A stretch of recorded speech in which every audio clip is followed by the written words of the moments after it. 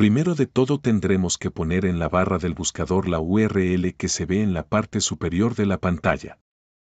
Y a continuación rellenar el nombre de usuario y su contraseña.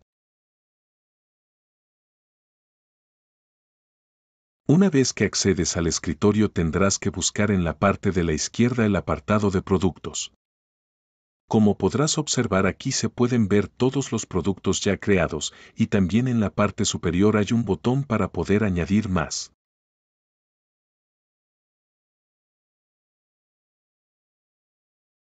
Para poder editar los productos tienes que colocar el cursor encima del producto que tú quieras modificar y pulsar el botón de editar. En el apartado de edición tienes muchas opciones de cambiar las cosas que tú quieras de ese producto, por ejemplo su precio y sus imágenes.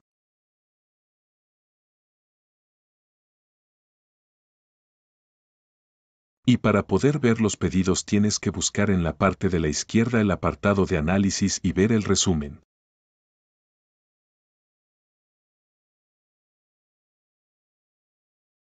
Aquí se puede ver por ejemplo las ventas netas y los pedidos.